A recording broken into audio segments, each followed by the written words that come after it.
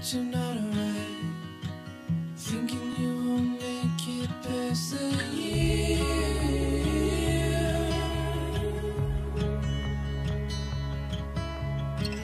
Close your eyes and you see.